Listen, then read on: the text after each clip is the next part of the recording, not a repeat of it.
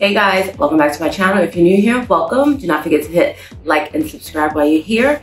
So I know you saw the title of today's video and you're thinking, I'm confused. She's always talking about gaining more clients, making more money. Isn't that what we're supposed to do? But sometimes, unfortunately, we have certain clients that it just, it doesn't work. We don't mesh something. So I'm gonna be going over the question, can we, as nail techs, fire our clients? Right now.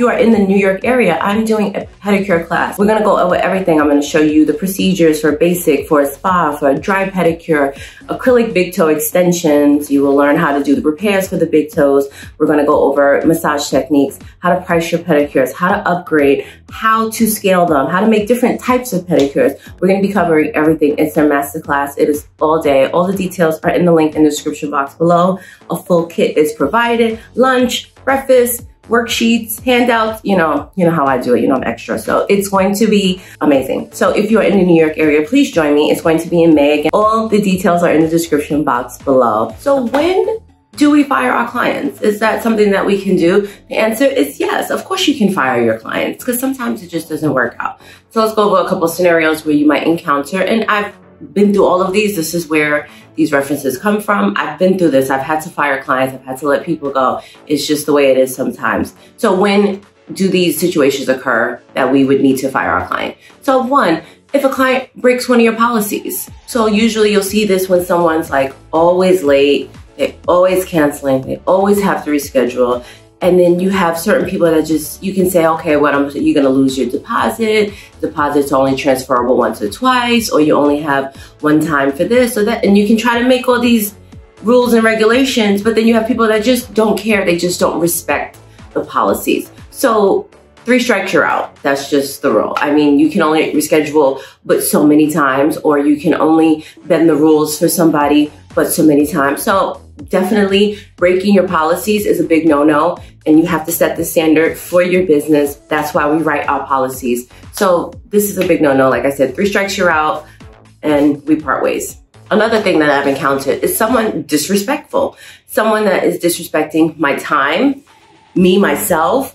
They are rude, uh, sometimes, especially in this a lot of these scenarios honestly come from when I was in a shop because you don't know who you're dealing with. When you have your own clients, you know them, they know you, you have a, a, better relationship. So a lot of times you're working in a shop, you're gonna get a lot of random people and people come in and they're always gonna wanna come to you and trust me, we've been there when that one girl walks in and she comes in and she just has attitude and no one wants to do her and you know, you just can't take this person. So if someone disrespects you or your time too many times, and for me, I honestly, disrespect, you get one shot. So I've had people hit me up and they were very, I didn't like their approach. I'm not gonna lie to you. You hit me up and you're like, how much do nails?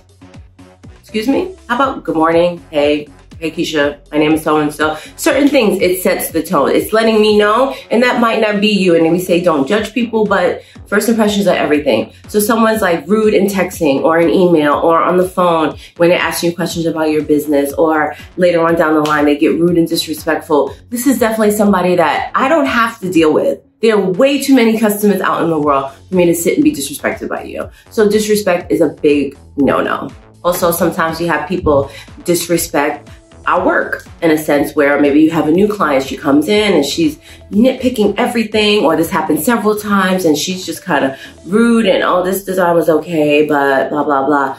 They have to understand that they're in your chair, in your business.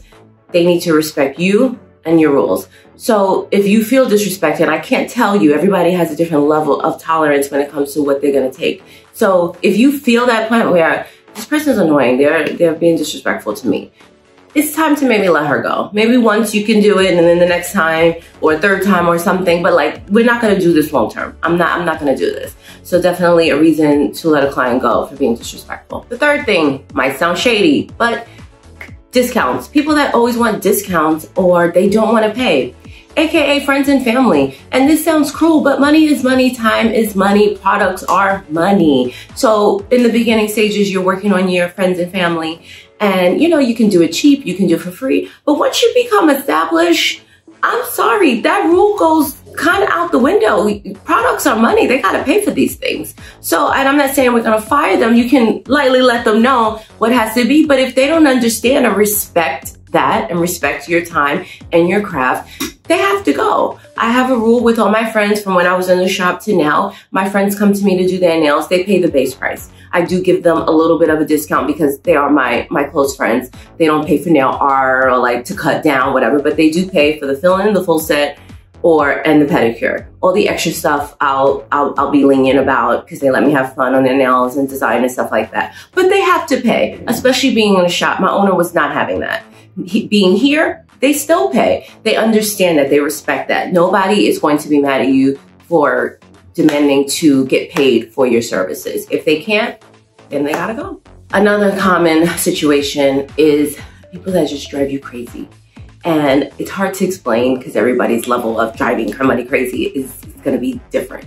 But you have these clients that just run you around. They want this, they want that. They're coming at this time. Oh, they can you do this? They, they're special needs clients. They're, they're crazy. They're just a mess. It's hectic. It's like whenever she comes, it's like a hurricane comes through and it's just a lot, a lot. Some people are a lot to take. And sometimes you don't always have the time to deal with a person like this. Sometimes you don't always want to deal with a person like this. Sometimes this person might fall in line with one of the other things. They might be hectic and all over the place, which means she's always running late, which means she this or that sometimes you have to set the standard of what you're going to tolerate. Because if you allow this person to continue running you around in circles with your business, she's going to continue to do just that. People will only do what you allow them to do. So we need to kind of nip that in the bud or let them go. These are always usually always the people that spend the most money. So it's really hard to let them go. They come in, they drop $200 on their nails and their feet. They want this, they want that. So you're like, all right, I don't want to let her go because she spends a lot of money. But at the same time, does it, is it worth it? It starts to not really be worth it. Like she's, she's just all over the place.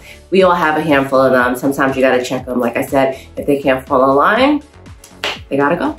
And lastly, unfortunately, sometimes we just encounter people where our personalities don't mesh.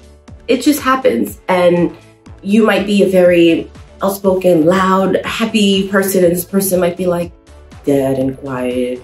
Or might be opposite, and they might be a lot for you if you're kind of calm and they're over the top, or it's just a personality clash. I can't explain it. There's going to be a lot of different scenarios. You just feel like, I don't really like dig this person as a person. No, they're not paying me to be their friend. But I have had in the past where our personalities just didn't mesh. I had a girl that was coming to me. She came to me a few times last year. I haven't really seen her. I'm not gonna lie to you, she was boring as hell. Like every time she came, it was just kind of like, so how's work? You know, we just didn't really have anything to say. She was very dry, very whatever. And I don't know, because that, I just felt like we just didn't mesh. And I haven't seen her since. I haven't hit her up. I don't care to hit her up.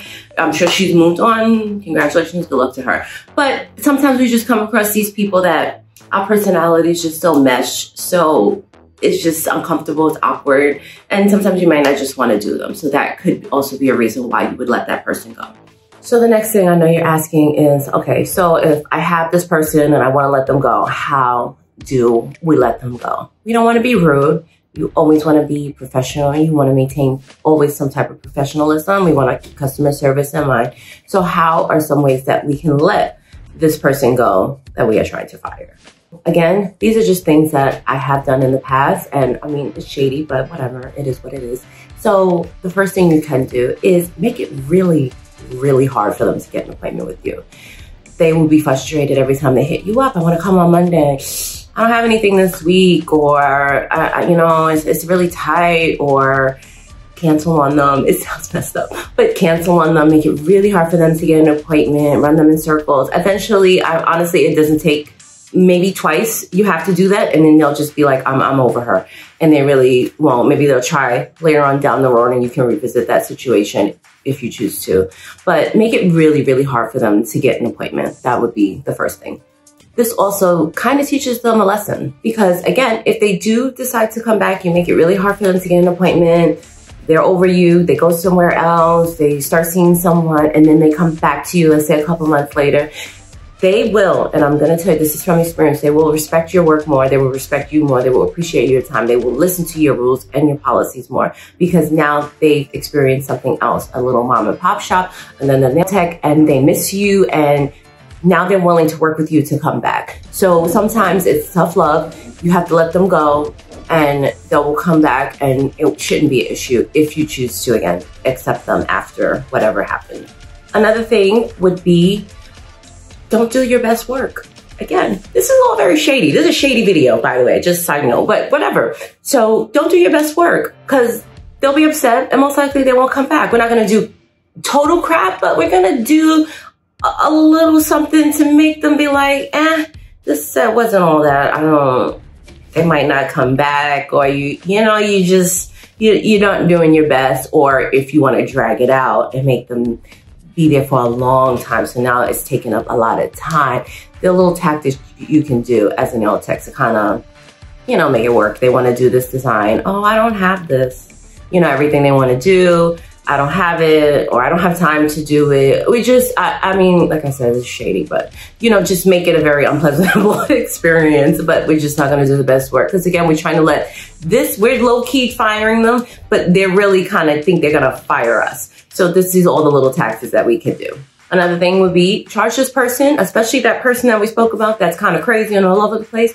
Charge them more, charge them more, jack that price way up there and let them they either pay it so you get paid for the craziness or they won't want to deal with it and they'll say oh you know what i'm just gonna go someplace else and and that's that so either we're gonna make some money from this this hecticness that this girl's driving me crazy or we're gonna just eventually she'll just say i don't want to pay this price. That price is ridiculous. I don't want to do this. I mean but upcharge not, not a couple dollars, make it crazy, make it like unreasonably high so that she is either, like I said, you're gonna be paid for your time or she's not gonna oblige and she will go somewhere else. Okay guys, so unfortunately, I hope you don't ever have to use any of these tactics. I, I really hope and pray that, but unfortunately you probably will. If you are in this business for a long time, you will come across some people that you just don't care to deal with. So these ways you can kind of still be professional, get rid of them, make your life a lot more easier because I'm telling you, it's too many people and text in the world that we have to deal with each other if it's going to be any type of chaos or craziness or madness or disrespect. So you don't have to deal with it. Just remember, you are a working person. We're in the service industry. Just because I'm servicing you, I am not a servant. I will not be disrespected or talked to. You are running a business. You are professional and people need to understand that and respect that. I always say we need to train our clients, just like you are training to be a nail tech. You have to train your clients sometimes to just be a client and a client of yours. So they are going to follow all your policies and such. Don't forget to hit like and subscribe and I will see you next time guys. Thank you. Bye.